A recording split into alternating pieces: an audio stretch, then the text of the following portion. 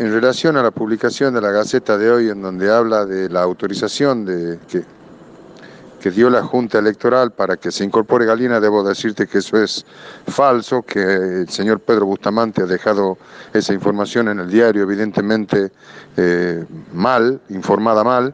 Este, eh, el asesor letrado ha presentado un amplio informe en el que justifica absolutamente la falta de documentación adecuada que, con la que se pueda demostrar que Galina está en condiciones. Muy por el contrario, la documentación y la recomendación del asesor letrado del club es que debe apartarse Galina de, de este tema. Pero nosotros no vamos a impugnar porque no nos importa si se presenta o no se presenta, lo que nos importa es que la Junta Electoral cumpla con el cometido, que para eso está el estatuto. Lo que ha determinado la Junta Electoral no es la inclusión o no de Galina, sino ha determinado no llevarle el apunte al artículo 58, en donde se prescriben las condiciones que debe tener un socio para poder ser candidato. Lamentablemente para Galina, este, no las cumple, o lamentablemente para la institución que la Junta Electoral no le haya prestado atención a,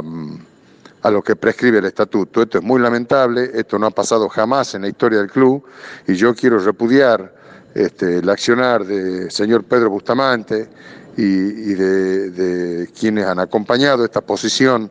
este, que ha sido además eh, muy discutida y no aceptada por otros miembros, pero como el señor Pedro Bustamante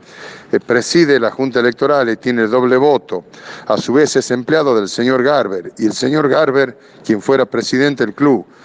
es en este momento el apoderado legal de la lista que preside Sagra, y a su vez el señor... Este, Bustamante, que el presidente de la Junta, de la Junta Electoral es empleado de Garber, bueno, creo que está todo dicho, esto es un armado que va mucho más allá de lo ético, que va mucho más allá de lo, de lo, que, de lo que debe hacerse, este, no hay evidentemente un respeto a la verdad, este, no se ha llevado el apunte a la recomendación del asesor letrado, no se ha llevado el apunte al tratamiento del artículo que, que dice cuáles son las condiciones que debe ser. Bueno, nosotros no vamos a impugnar, pero no quede ninguna duda de que el señor Galina está entrando en estas elecciones por la ventana y no por la puerta grande del Cruz San Martín.